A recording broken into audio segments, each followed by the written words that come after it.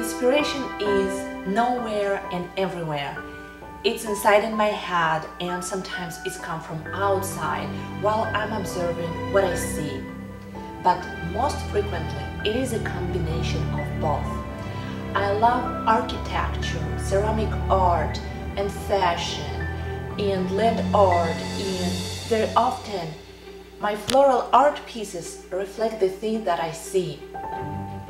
I am an experimenter and I'm looking for new ideas all the time.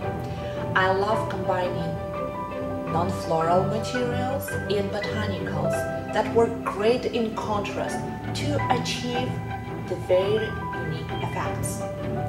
I like process of creating an art piece even though it can take a very long time to finish.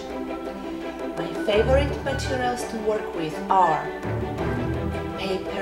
wax, plexiglass, pine needles, wood in different forms like chips, paper, stumps.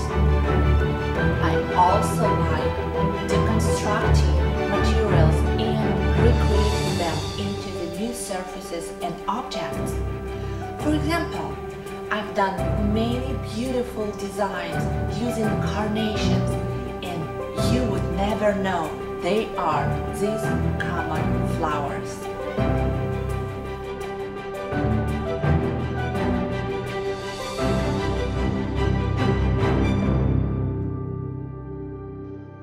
My designs were selected and included in several books of international floral art and numerous floral magazines.